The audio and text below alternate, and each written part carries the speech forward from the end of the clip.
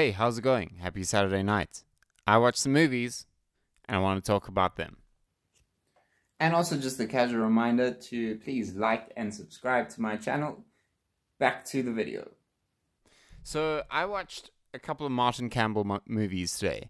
If you've never heard of the guy, you've definitely heard of his movies. Maybe a movie like Casino Royale or Goldeneye strikes a bell, or maybe a movie like The Mask of Zorro and that other shitty Zorro movie or maybe uh, probably his best well known work, it won many Oscars Green Lantern. Yeah, he's had some hit and misses, but he's definitely been prolific enough that it's been a director that I've enjoyed seeing his career over time. And it was definitely uh, one of my goals, so to speak, digital goals. I have many of them to cross off some of these movies. And I decided Today sounds like a very good idea day to cross off some of those movies. So let's jump in. I watched three of them. Two were.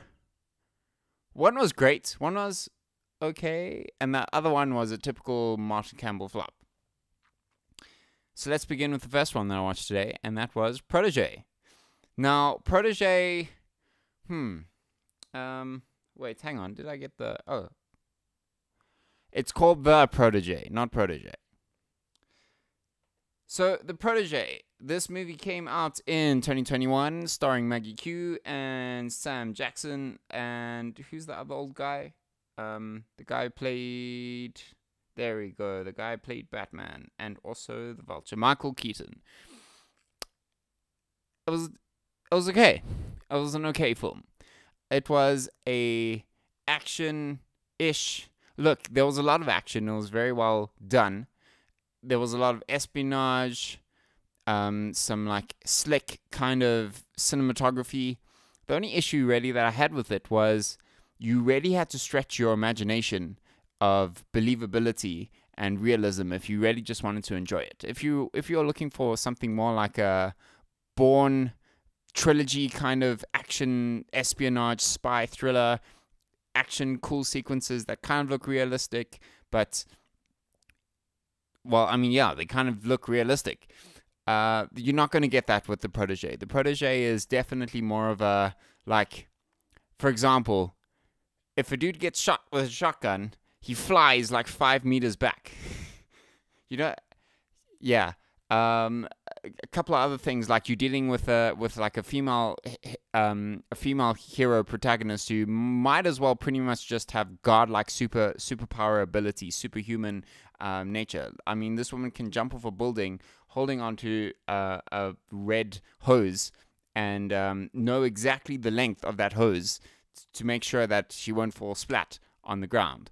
Uh, fortunately that hose had just enough length in it to uh, to make sure that she'd reach there safely. Just a couple of other things in that film that really just stretched the the the nature of believability, like um so many like inconsistent like action action like threads. You know, it's like the the dumbest villains imaginable.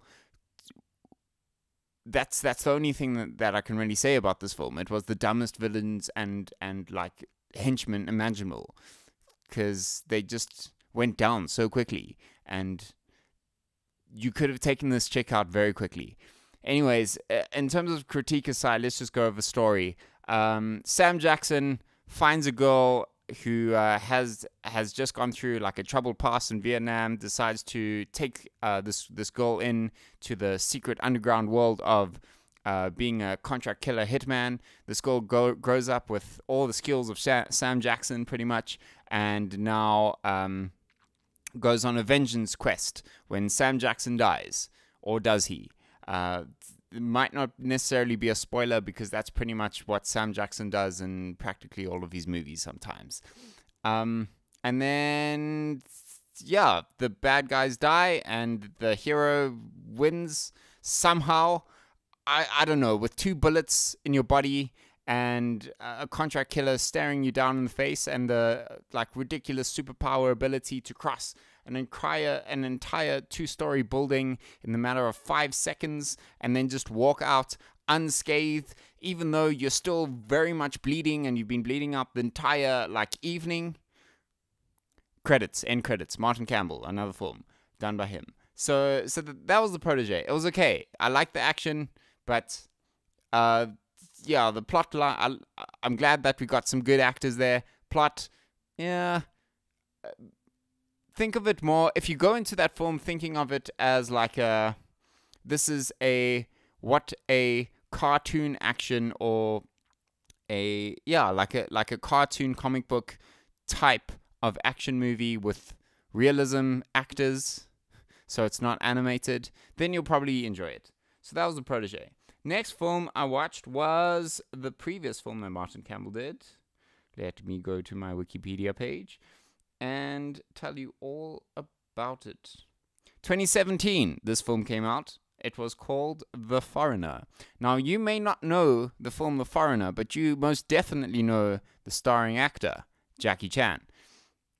And let me tell you something, folks. This was a great film. It was. Plotline.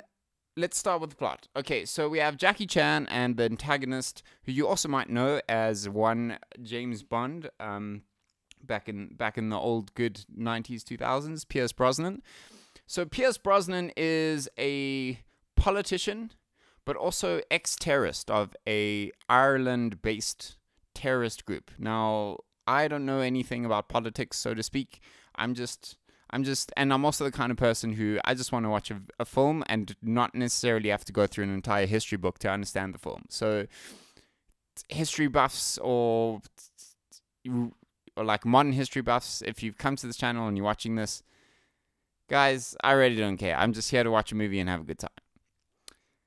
So, Pierce uh, Brosnan is this politician and also an ex terrorist leader of some Ireland based terrorist group.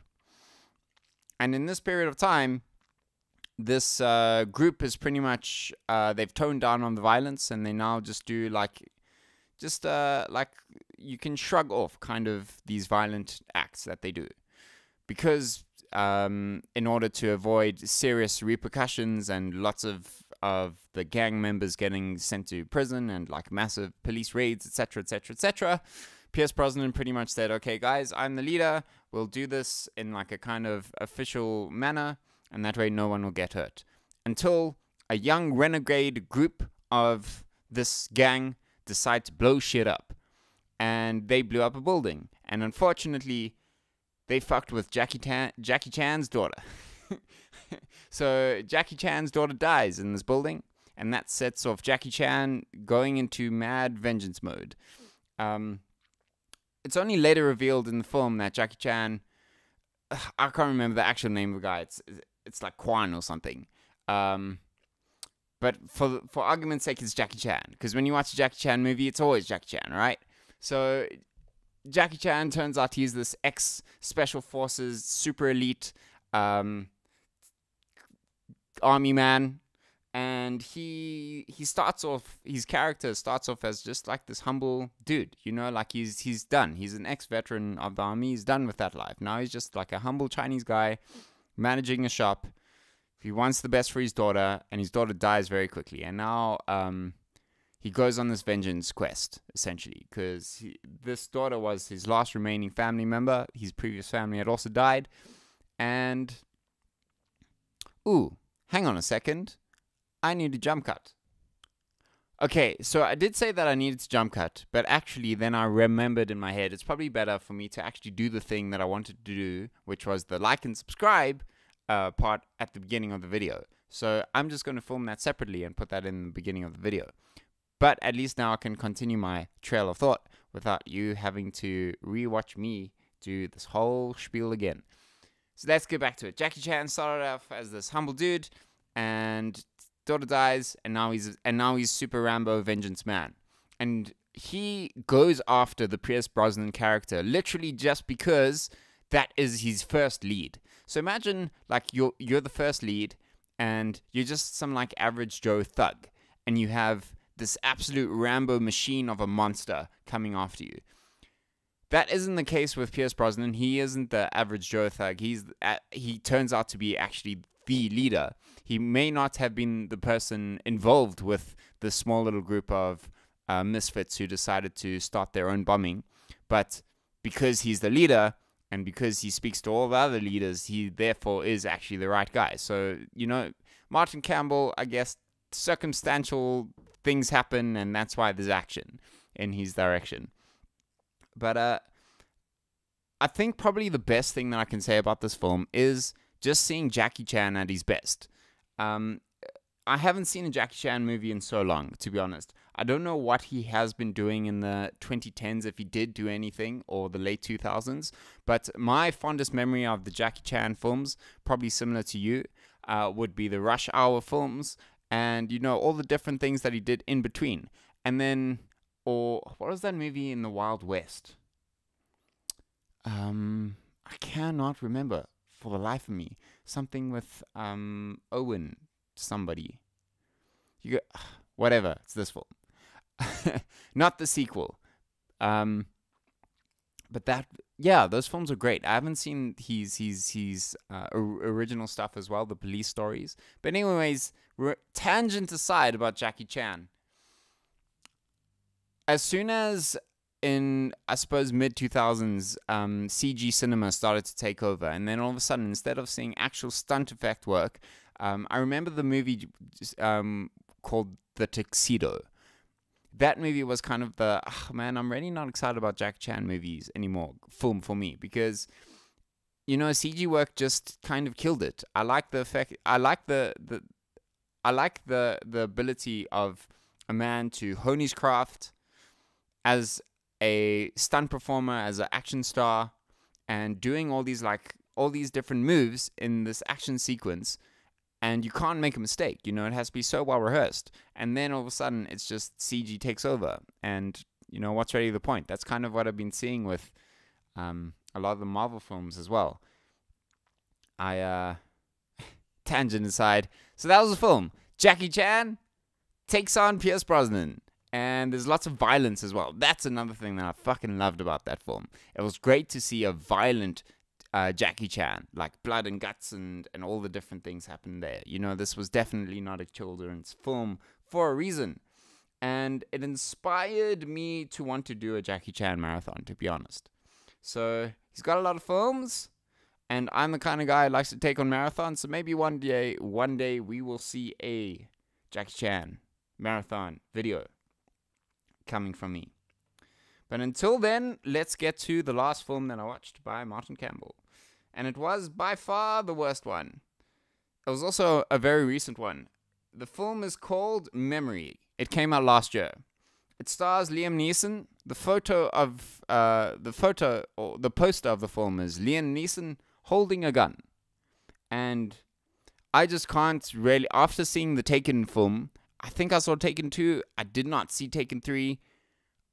I can't really take Liam Neeson seriously anymore. Every time I see him as an action star with a gun, I'm like, yeah, I don't really want to watch another Taken film, to be honest. And that's kind of exactly what I experienced in this film, except with a twist. And the twist is Liam Neeson is an old. Okay, so here's the plot line, right? Liam Neeson is the hitman guy.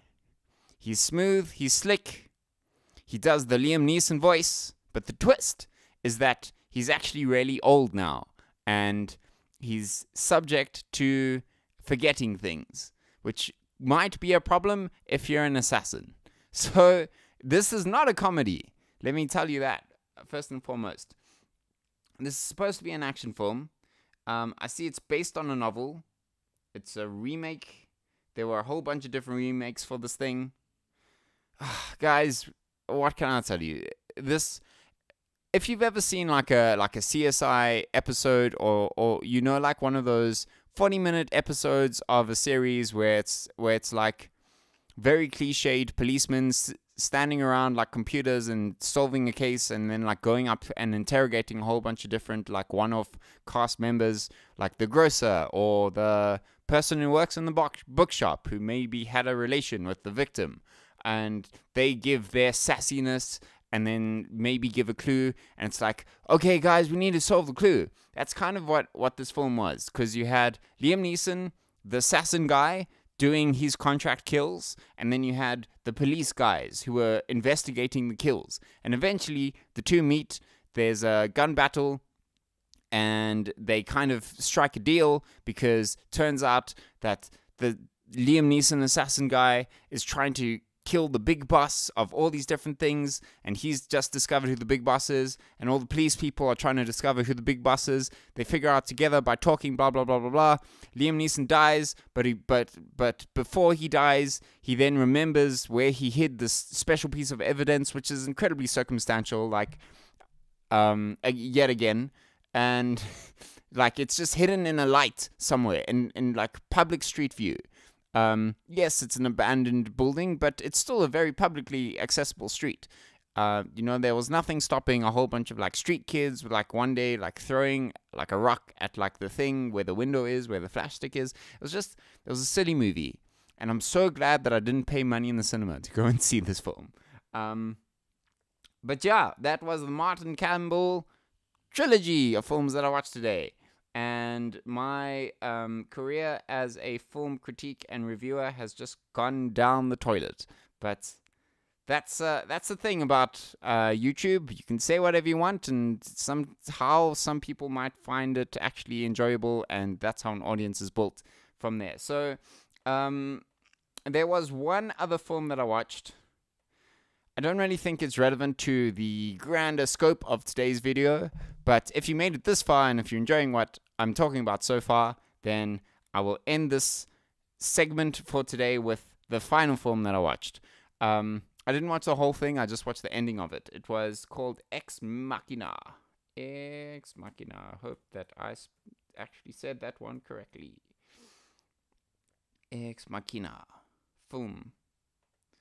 So this film was very interesting. My trading my financial trading coach said that this was one of the films that he gave like a list of films that his students should be watching. This was back when I started with him about four, maybe five years ago. This was one of the films, and I'm finally only got into it now. This film is about a nerd dude programmer who works in a big tech tech corporation company and he wins a lottery to go see the founder and chill with the founder of this big gigantic google-ish tech company. It's like sometime in the future-ish um, but not too far in the future. It's like maybe 10 15 years from now kind of future. And he wins this company lottery to go and spend uh, like two weeks with the founder of this company at this um, exclusive woodland hideaway. It's very high tech very secretive uh, like the dude gets dropped off in a helicopter and gets told to walk the way and gets like a special like pass card key that can only access certain doors, etc.